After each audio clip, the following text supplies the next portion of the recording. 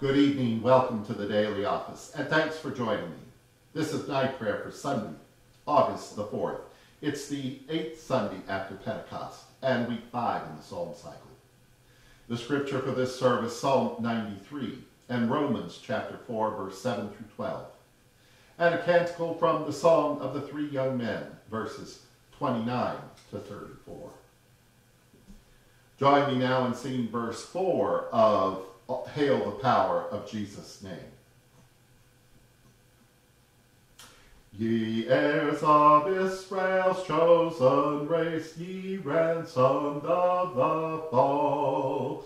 Hail him who saved you by his grace, and crown him Lord of all. Hail him who saves you by his grace, and crown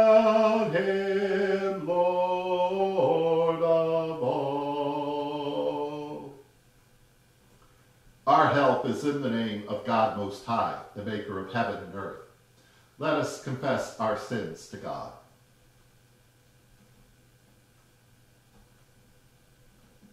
Together. O merciful God, we have sinned through our own fault, in our thoughts and words and deeds, and in what we have failed to do. We have not loved you with our whole hearts. We have not loved our neighbor as ourselves. We beseech you, overlook our faults, cast our sins behind your back, that we may serve you and praise you all the days of our lives. Amen.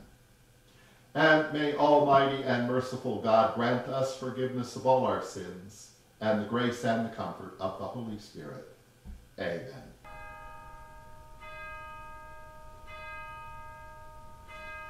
O God, come to my assistance, make haste to help me.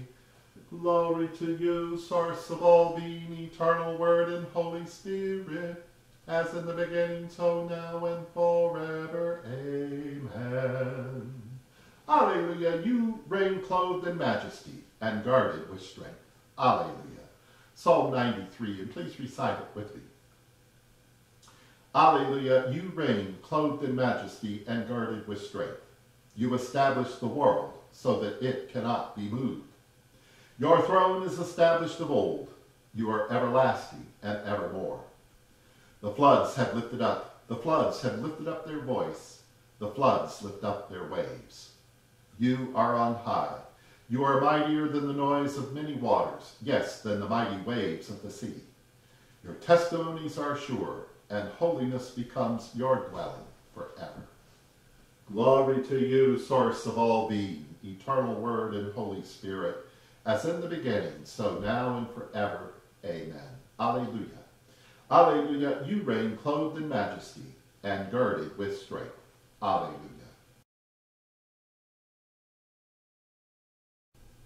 A reading from Paul's letter to the Romans, chapter 4, beginning at verse 7.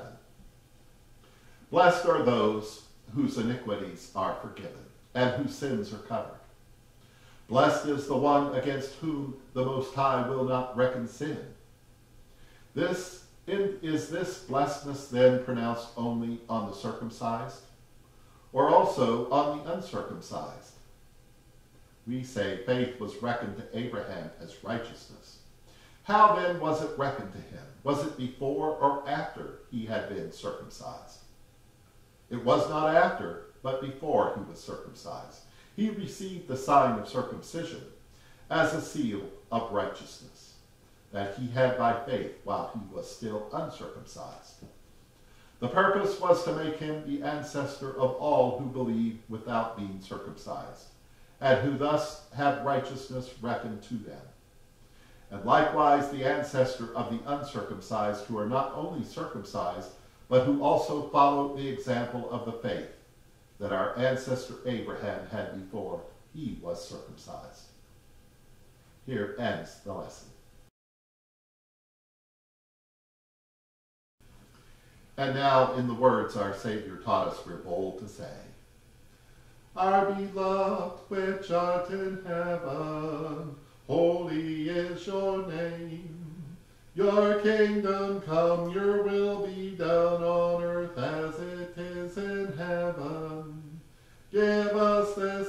our daily bread. Forgive us as we forgive others. Lead us not into temptation, but deliver us from evil. For the kingdom, the power, and the glory are yours, now and forever. Alleluia. Blessed are you, beloved God of our ancestors. We praise you and exalt you above all forever. Alleluia. The Psalm of the Three Young Men, and please recite it with me. Alleluia. Blessed are you, beloved God of our ancestors. We praise you and exalt you above all forever. Blessed is your glorious and holy name. We praise you and exalt you above all forever. Blessed are you in the temple of your glory. We praise you and highly exalt you forever. Blessed are you that behold the depths and are seated among the cherubim.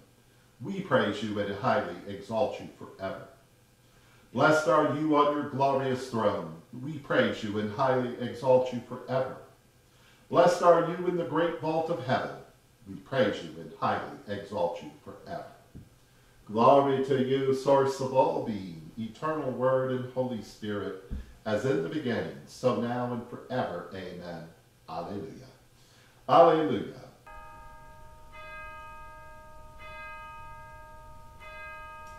Bless Jesus, my soul. And may the grace of our Lord Jesus Christ and the love of God and the fellowship of the Holy Spirit be with us all now and forever. Amen. Alleluia.